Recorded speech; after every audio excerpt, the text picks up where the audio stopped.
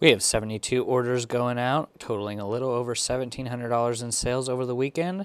Stick around to the end of the video to find out what sold.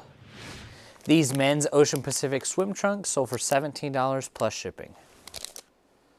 This Armani underwear sold for $25 plus shipping. This Columbia vest sold for $17 plus shipping. This Perception Conception women's button-up shirt sold for $8 plus shipping. So I had a few people reach out wondering how I go about the process of acquiring these bulk clothing bales. And it was just an idea that came from a friend of calling thrift stores and seeing if they have any bulk clothing for sale or if, if they do any bulk bales for other wholesalers. So I got to calling around other thrift stores besides Goodwill just to kind of see the price point and how they went about their process. So I was able to contact St. Vincent de Paul and they have millions of pounds of clothing go through this distribution center every year and they wholesale all the clothing out that doesn't make the shelves, that either has a defect on it or that has sat on the racks too long. So in my state, there is no St. Vincent de Paul pay by the pound like what you would see with Goodwill and their Goodwill outlet. So they offer their bales at a wholesale discount. I think it's 15 to 17 cents per pound, depending on the season. And you're able to get a bale about 1,500 pounds to 2,000 pounds. And that comes out to about 200 to $250 per bale and that supplies me with about 1500 items every month. The only downside is is you're going to need storage space to store the items and as well as you're going to have to consider the time it takes to sort through thousands of items to find the ones that are quality to be able to list on eBay. So Philip had reached out and I wanted to just elaborate more in detail about how I went about that. Call some of your local thrift stores, ask around, see what they're doing with their excess clothing, and you might be surprised on how cheap that they're letting these items go for. But it is going to require the work of maybe even renting a U-Haul truck, some kind of box truck to be able to have the forklift load the clothing bale into the back of your uh, vehicle. And, you know, just other things that go into buying bulk. You're going to need space. You're going to need sorting space. You're going to need a process to be able to handle all of that amount of clothing. And I made that decision to switch because I was just not having enough time to be driving an hour and a half to my next nearest Goodwill outlet or Goodwill bins or even thrift store for that matter. I needed to be able to cut down on driving time. So once a month, I order a couple bales, rent a U-Haul, drive about two hours away and load up all right, so these Dickies pants sold for 14 plus shipping, 11516. There we go. So if you're just getting started on eBay, you might be feeling a little overwhelmed on what items to be picking up and how to start generating sales. Well, you could check out linked in the description down below where I'm offering a free seven day trial of my eBay coaching. I work with you Monday through Friday, five hours a week, helping you put the same system and process that I put in place to help me generate $178,000 in sales reselling used clothing on eBay last year. Included in that is an eBay store review and a reseller spreadsheet. And if you're getting value in the group and you're wanting to continue on with your eBay education, it's just $1 a day after that. You can find it linked in the description down below, and I'd love to see you there. So I have a lot of these items in my store on big discount, 50, 60, 70% off. This was from about a year ago, finishing up this type of inventory system and then eventually switching to the sequential numerical system that you see over there.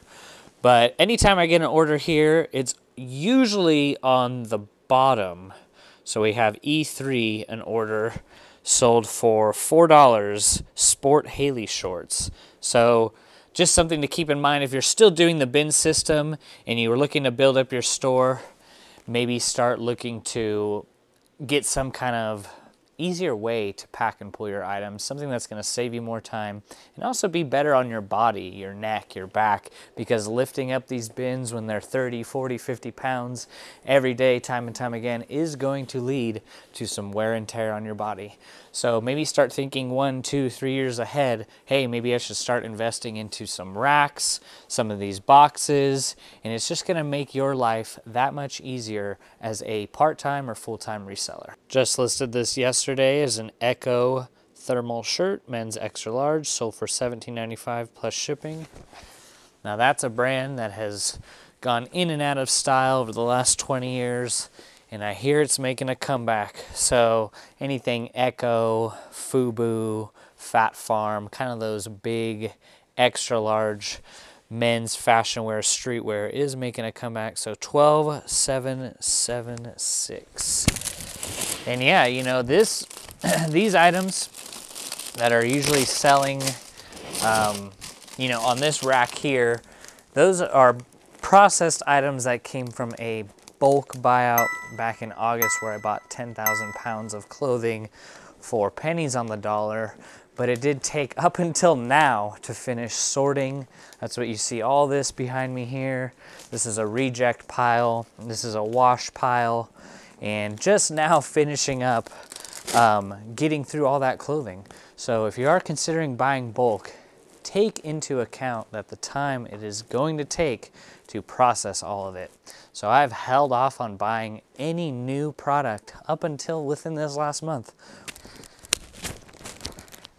This women's H&M denim jacket sold for $8 plus shipping.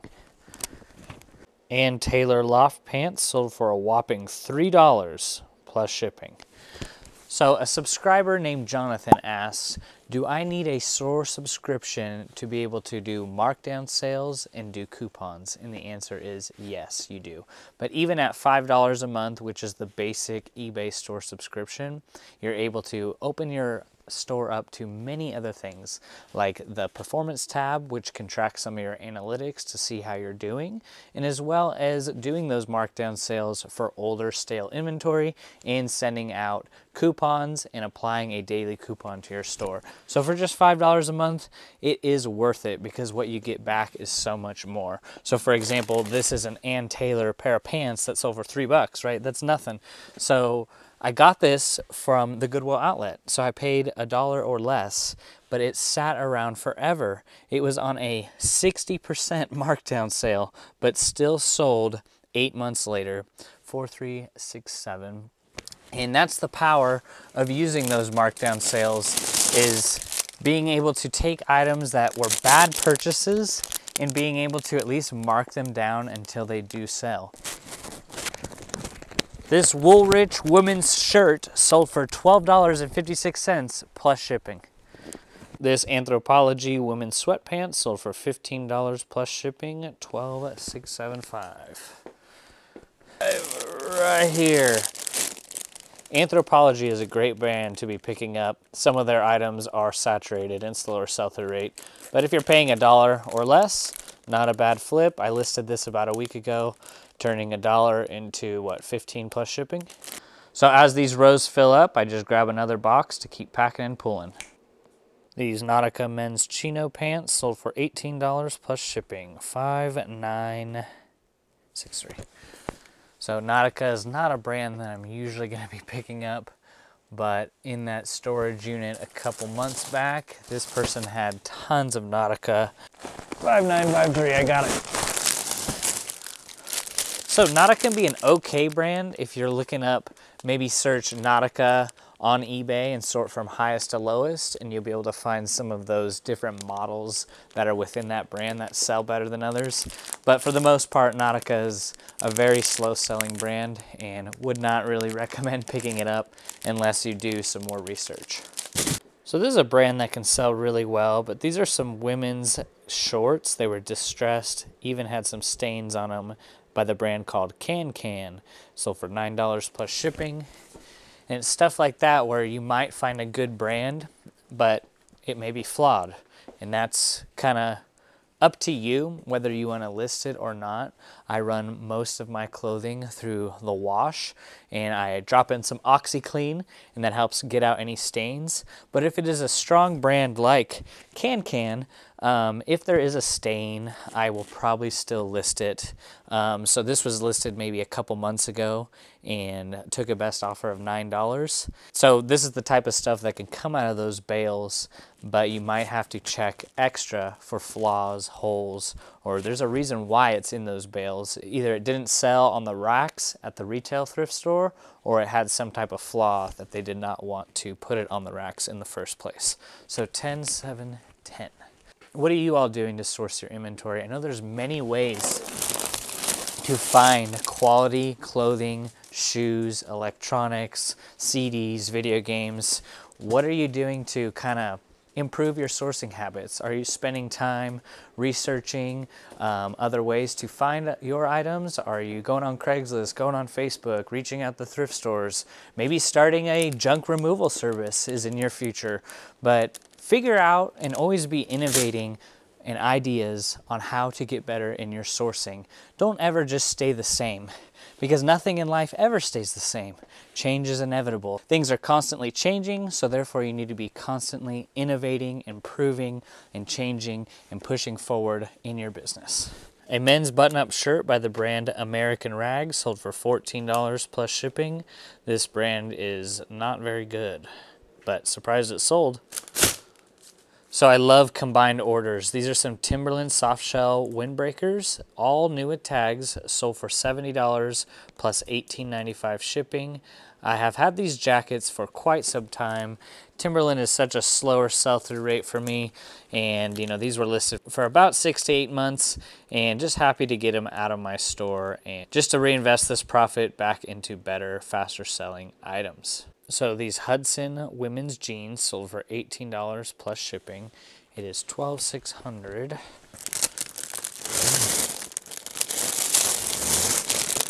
Hudson is a really nice brand to be picking up if you're not familiar with it. They make men's and women's jeans that sell typically between 30, 50 to $100. If you find the brand Hudson, you might want to do your research, but it is most of the time worth looking into and picking up. These Calvin Klein men's underwear sold for another $18 plus shipping. So I don't normally pick up any kind of underwear, but this storage unit had plenty of Calvin Klein underwear. So if you ever are outsourcing and you find new in box Calvin Klein underwear, they can sell for pretty good profit. This North Face men's long sleeve t-shirt sold for $17.95 plus shipping. So North Face is some of the items that I've been finding in that 10,000 pound buyout just takes a lot of sorting and getting used to getting through all of those items to find the good stuff. So if you're a new beginner reseller, you should be picking up North Face. Checking comps though first and making sure it's profitable for you. Don't want to be overpaying for things like this. I had another subscriber reach out, what type of boxes do I use? What size of boxes do I use? These are boxes that I order off Amazon. You can find them linked in the description down below, and they are 8 by 8 by 32, and they cost me about $2.20 per box. I order about 200 of them at a time, and they come free shipped to your door. You can order them also off Uline, though they are a little bit more expensive as the shipping cost does kill the deal. So shout out to whoever is looking to get into this system. I highly recommend it as it's gonna save a lot of time when it comes to the pooling and packing process. Had this Kenneth Cole jacket sell for $59 plus shipping. It is 8950. Kenneth Cole is another brand that I would usually pass up on not the fastest sell-through rate. Um, decent average sale price on some of their stuff, but if I'm paying a dollar or less, I might consider it, but I'm not going to be paying up for much of anything branded Kenneth Cole. Also, another thing too is like I'm happy to do a deep discount on some of these jackets because I'm really trying to focus on maximizing my space here. You know, I really have four full racks of jackets, about 200, 250 jackets. And with the warmer weather coming up, I'm looking to sell out on a lot of these jackets, taking 50% off. This Swiss Army Victorinox watch sold for $100 plus shipping, came from the storage unit, and just needs a new battery. So I had it listed for 149 and took a best offer of 100. All right, these Lee jeans sold for $12.56 plus shipping. I had just listed them maybe a month ago and I am focusing more on men's jeans. It is one of the categories that I've been selling the most of for the last few years on eBay. And if the jeans are in good condition, but it's a lower tier brand like Lee, I will still list them between 14 and $17. So this I took a best offer and 12293 I just really want to avoid not holding the item for too long. So if they could sell rather quickly at a deep discount, I'm happy with that. I am getting for I'm getting most of my items for less than a dollar. These Vigoss women's jeans sold for $17 plus shipping, 8805. So this brand is an okay brand. Some of the models within this brand sell better than others. This kind of was a slower selling item for me. Took about six months to sell. But whenever you can find jeans with this kind of cool, heavy embroidery on the back, definitely worth looking into, even if the brand sucks. Just this type of style with this point flap pocket. This is a men's black diamond jacket sold for $18 plus shipping. Black Diamond's a decent brand to be on the lookout for. Some of their jackets can sell really well. This men's Orvis t-shirt sold for $10 plus shipping. So I'm always picking up Nike no matter what, but if you can look out for these Pro Combat Series shirts, they can have higher resale value and a better sell-through rate. So this sold for $18 plus shipping, 11926. And just doing the extra research on some of the brands that you are selling, if you are just able to type in Nike and then sort from highest to lowest, type in Levi's, sort from highest to lowest, Doing this on eBay is going to help you become more aware of what items within that brand are selling for high prices. What are the desirable models of that brand that are worth looking into? So Nike Pro Combat would be one of them, and anytime I see it, I pick it up a lady had reached out a while back saying, what size is the board? How do I make one? This is so simple. It's just a, a simple one inch piece of plywood cut out four and a half by five and a half feet wide. And I just put a simple cotton tan blanket, stapled it to the backside, and it works. I would suggest making it a bit wider. Um, and that is something that I'm going to be doing over my next couple weeks, looking into getting a bigger board for some of those bigger items like jackets, plus size clothing, and whatnot. But it's nothing simple to get started. You can use what you have lying around in your house, maybe hang it on the wall for now. But I'm able to tilt this board at an angle so I'm able to just stand right here, take my photos, and not have to like really overwork my neck or my back when it comes to putting the garment on the board here and then placing it off to the side. So really just maybe look around your house, look in your backyard, see what you have, but this is nothing fancy.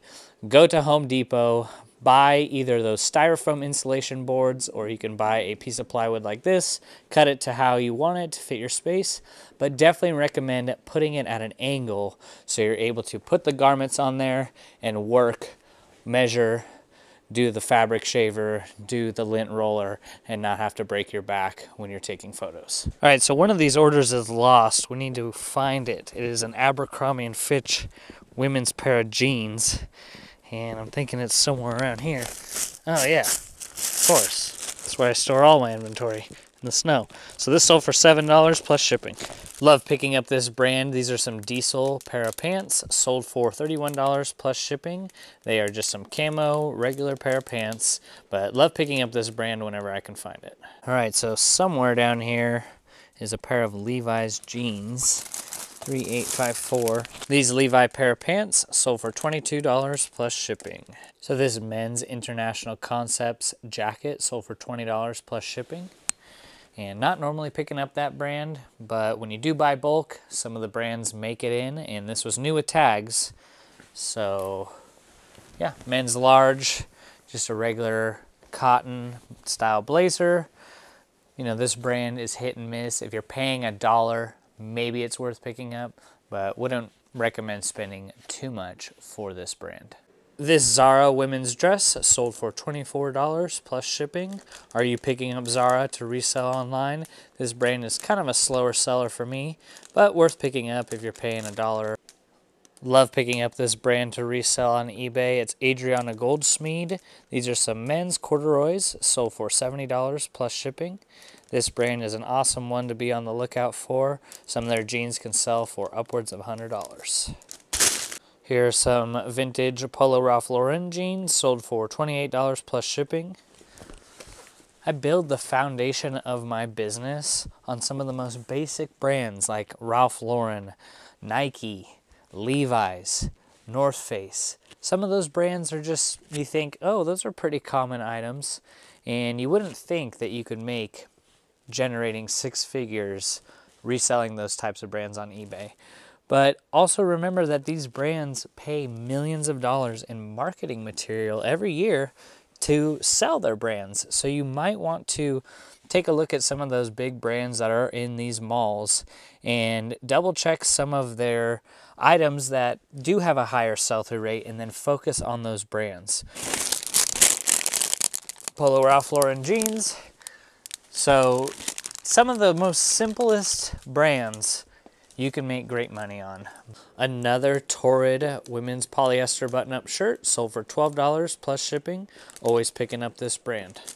Another pair of men's jeans sold. These are some Wranglers new with tags, sold for $18 plus shipping. These Timberland boots sold for $38 plus shipping. This is a Polo Ralph Lauren jacket, sold for $60 plus shipping. So this model of Polo Ralph Lauren, the Polo jeans, are more of the lower tier type of model when it comes to this brand.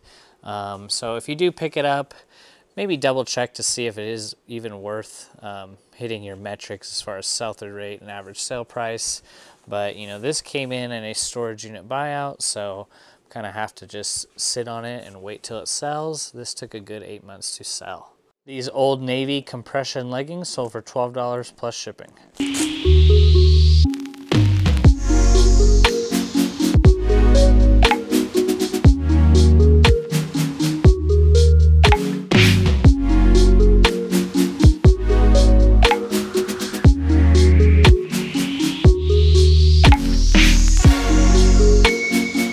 The main things that I use in my shipping station are going to be these 12 by 15 poly bags for anything first class weighing anything under one pound will be shipped in this bag.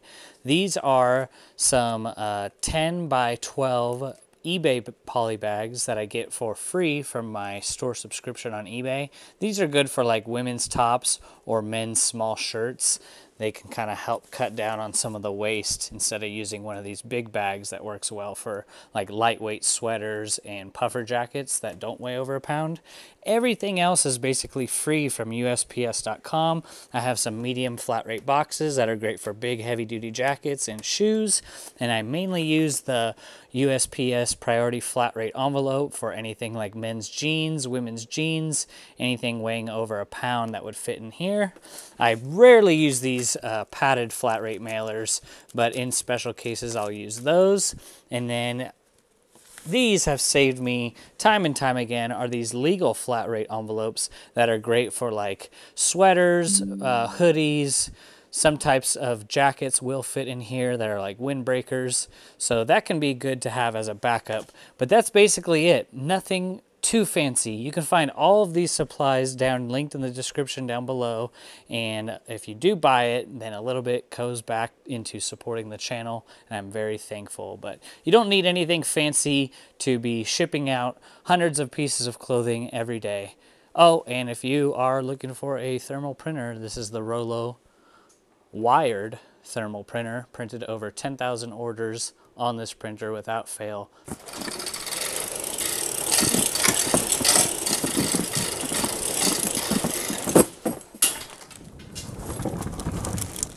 All right, so most of these brands are pretty simple, right? And if you're just getting started and you have no idea what to be picking up, check out this video here where it goes over my top 10 brands to be reselling on eBay in 2023. Have a blessed rest of the day and take care.